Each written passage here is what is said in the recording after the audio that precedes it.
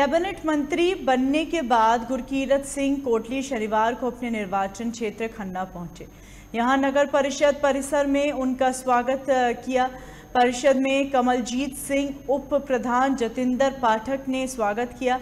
पत्रकार से बातचीत करते हुए कोटली ने कैप्टन को अपना नेता बताया।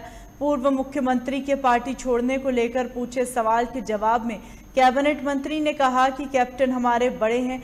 वह साढ़े नौ साल मुख्यमंत्री रहे।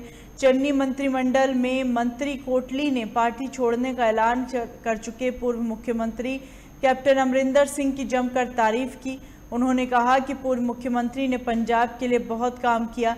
उनके किए कामों को ही वे लोग आगे बढ़ा रहे हैं। हालाँकि उन्होंने कैप्टन को पार्टी का वरिष्ठ नेता बताते हुए उम्मीद जताई कि वह मार्गदर्शक बनकर सबकी अगुवाई करेंगे, ताकि वे लोग पंजाब को बचाने के लिए अपने मकसद में सफल हो सके।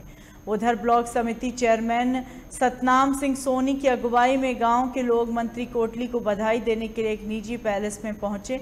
इस अवसर पर market committee chairman Gurdeep Singh, Rasulra, Khanna नगर परिषद के पूर्व प्रधान विकास मेहता, उनके साथ खन्ना के सभी कांग्रेस पार्षदों ने भी कोटली का स्वागत किया।